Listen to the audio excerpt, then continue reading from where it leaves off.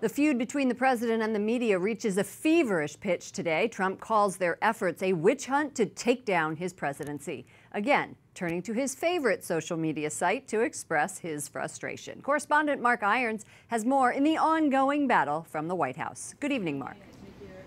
Good evening, Lauren. Today, the commander in chief's agenda began, as it often does, with a tweet. His relentless Twitter storm continues to focus on his criticism of the mainstream media. Early this morning, President Trump blasts the New York Times for producing what he calls fake news. The failing New York Times writes false story after false story about me. They don't even call to verify the facts of a story. A fake news joke. A close second, according to the president, the Washington Post.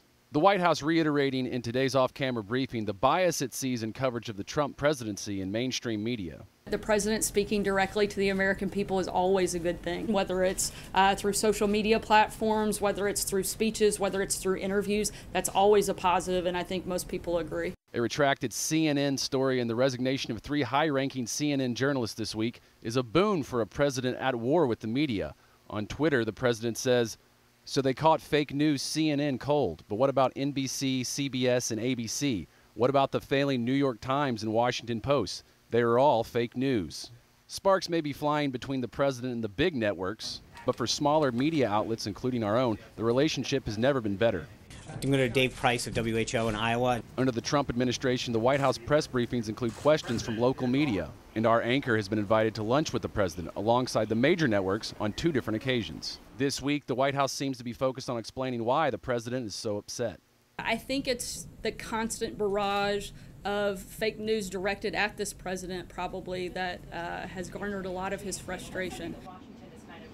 Tonight, President Trump will have an evening away from media scrutiny. He makes remarks at his first 2020 campaign fundraiser held at his own hotel down the street from the White House. The closed press event is raising a few red flags, among them that as a constant candidate, the president risks alienating Americans who did not vote for him.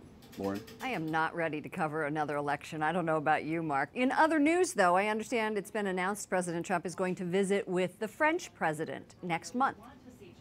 That's right. He'll be visiting the, the, the French president on Bastille Day, July 14th.